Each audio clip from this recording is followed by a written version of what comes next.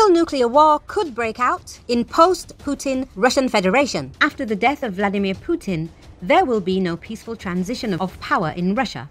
This became impossible due to the destruction of democratic institutions in the country, says Julian Röpke, own expert of the German publication Bild.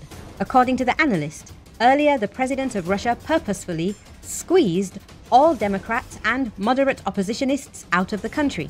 Therefore, after the death or resignation of Putin, his current associates most likely will launch a power struggle for power.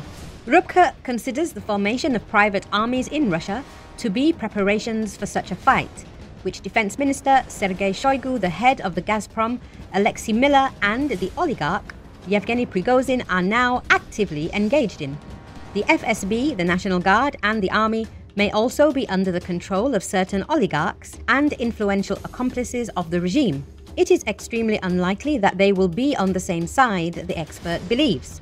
Röpke predicts that after Putin, a ruthless struggle for power will unfold in Russia, which may be limited to targeted killings or may result in a large scale conflict like a civil war. The expert does not even rule out the possibility of the use of nuclear weapons and the territorial collapse of the state. One thing is clear with Putin's death, everything will definitely not be all right which even optimists no longer hope for. The Russian dictator himself took care of this.